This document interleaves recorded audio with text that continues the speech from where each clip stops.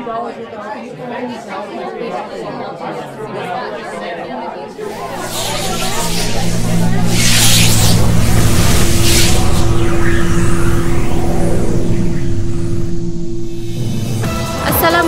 dan salam sejahtera.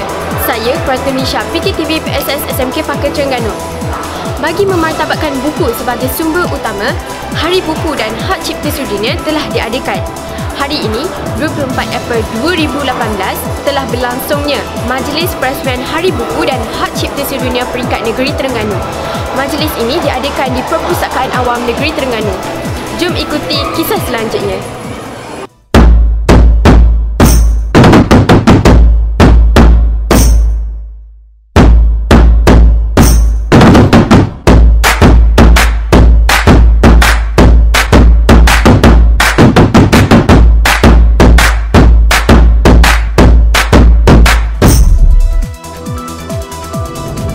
Majlis Perasmian Sambutan Hari Buku dan Hak Cipta Sedunia telah dirasmikan oleh Yang Berbahagia Puan Hajah Marzia Lina binti Muhammad, Pengarah Perbadanan Perpustakaan Awam Negeri Terengganu. Turut hadir Tuan Haji Alias bin Talib, Ketua Penolong Pengarah BTPN Negeri Terengganu. Majlis turut diserikan dengan kehadiran pelajar-pelajar sekolah dan guru-guru sekitar negeri Terengganu. Jam menunjukkan 11 pagi. Ayo rakyat Malaysia, jom baca.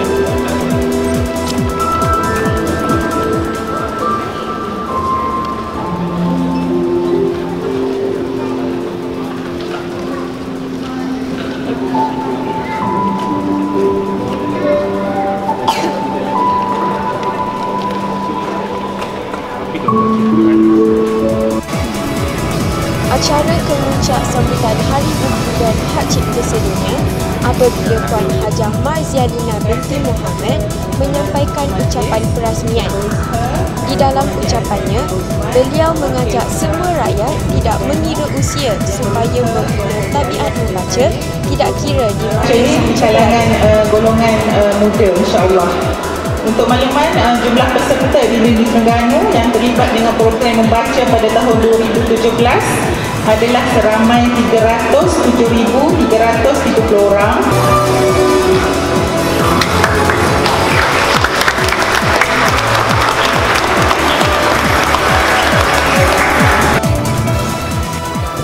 Selepas itu, majlis turut diserikan dengan acara penyampaian hadiah, pertandingan mewarna, jigsaw puzzle, maraton buku, kembara maklumat dan yang teristimewa, video pendek oleh TVPSS.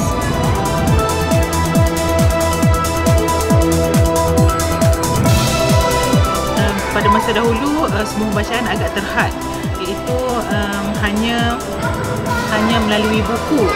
Jadi sekarang ni generasi sekarang sebenarnya amat bertuah dan seharusnya lah memanfaatkan uh, medium yang ada ni dengan uh, bahan bacaan yang bermanfaat lah.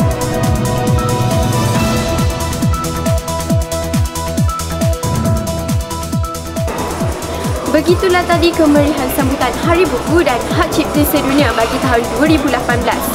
Apa yang diharapkan agar tabiat membaca dapat disemai di kalangan rakyat Malaysia. Bangsa membaca, bangsa berjaya. Sehingga berjumpa lagi. Bye!